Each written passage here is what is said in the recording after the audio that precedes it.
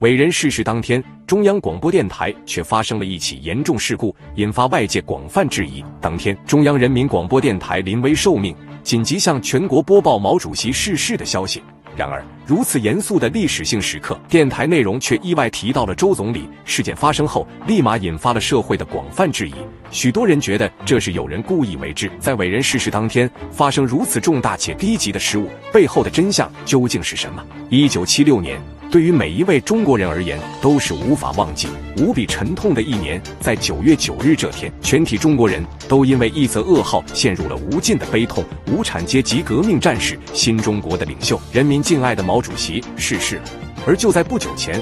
人民才刚刚送别了周总理与朱老总两位伟人。当天凌晨，中央人民广播电台的杨正全被一通电话铃声吵醒。当拿起电话的那一刻，一种不好的预感便涌上了杨正全的心头，因为这一年的新中国发生了太多的事：周总理逝世、朱老总逝世、唐山大地震的发生，每一件都令其悲伤不已，心力交瘁。而电话那头并没有告诉杨正全具体的事情，只是催促他在第一时间赶到局长办公室。预感有大事发生的杨。正全没有迟疑，急忙起床，连衣服都来不及穿，拿着外套便急匆匆地赶了出去。等来到广播电台局长办公室后，房间早已挤满了人，可每一个人都神情悲伤，一股无比压抑的氛围扑面而来。见杨正全到了，一个工作人员漫步走到他身边，用几乎带着哭腔的声音告诉了杨正权毛主席逝世的消息。一时间，杨正权头脑一片空白，一种无力感令他甚至无法站稳。大家都知道毛主席身体不好，晚年的毛主席接连经历了林彪的叛逃、周总理、朱老总两位革命战友的离去，以及唐山大地震的噩耗，身体状态急剧下滑，连独立行走都成了问题。中央为了照顾毛主席的身体，于一九七二年宣布其不再接见任何外宾，可情况一直没有好转。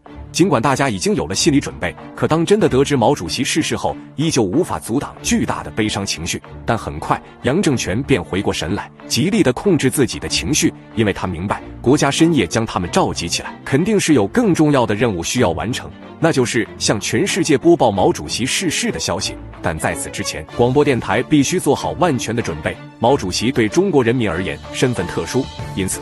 整场播报必须做到零失误，顺利准确的将播报完成。按照初步的计划，广播电台计划于当天下午六点正式向全国播报毛主席逝世的消息。但很快，第一个难题就摆在了众人面前：每一个重要领导人的逝世，在广播时都要配有哀乐，而且必须得是原创，且时长都不一样。以毛主席的身份，其哀乐必然得是最长的。可这具体时长究竟定在多久？现场人员都发出了不同的看法。甚至爆发了激烈的争论。最终，经过各阶层领导的协商同意，哀乐时长被定在了六分钟。时长敲定了之后，便立刻委派专业人员进行哀乐的制作。接下来就是播报内容的撰写以及具体流程的安排。由于事态的突然性，一时间整个广播电台全都进入了全身心的工作状态。大家忙得连喝口水的时间都没有。可就在这时，一则来自中央的消息又再次令广播电台的所有人心头一紧。中央下令，原本定于下午六点的播报时间被提前到了四点。而这还只是正式播报时间，在这之前，广播电台还需要进行一小时的预播通知，好让全国百姓先做好收听的准备。也就是说，本就紧急的播报时间又被缩短了整整三个小时。本就忙碌的广播室再次躁动了起来，工作人员们都在争分夺秒。终于，时间来到了下午三点，全国各地的广播准时响起了预播，连续播报六次，重复十二遍内容。一时间，全国上下都感到十分疑惑，大家都很好奇，国家又有什么重大事件要宣布了。一小时过去后，下午四点。播音员用庄重且肃穆的语气向全国宣告了毛主席逝世的消息。一时间，无尽的悲伤之情笼罩在中华大地上。无数的群众还没等听完广播，便已经泪流满面，不少人甚至当街就大哭了出来。可能很多人从未亲眼见过毛主席，但伟人的事迹、伟人的精神却一直鼓舞着他们。而许多在毛主席率领下成长起来的人，则更加悲伤不已。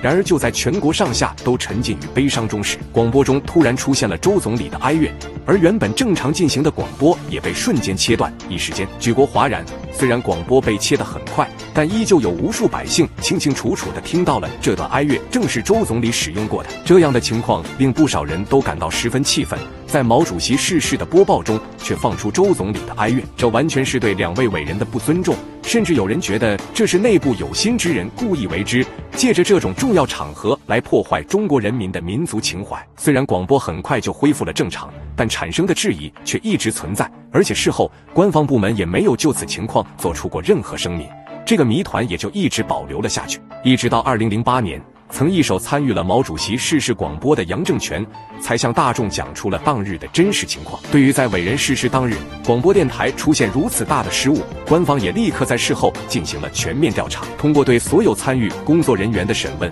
事实并不像社会所传的是有人故意为之，而是一起正常的播报失误。因为当时原本计划播放的哀乐是六分钟，而且已经制作好了。可就在电台准备播报前夕，上级又突然下令要将哀乐的时间缩短至三分半。